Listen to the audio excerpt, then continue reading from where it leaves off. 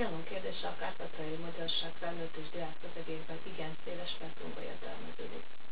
Vannak, akik csak hallomásból ismerik a fogalmat, és mert sokan vannak, akik pontosan tudják az eseményeket, illetve annak következményeit, mégis profánul veszik tudomásulat, hisz a nálunk élő legidősebb generációnak a Csehszlovákból a szovjet impériumba való átmenet a legnagyobb traumát.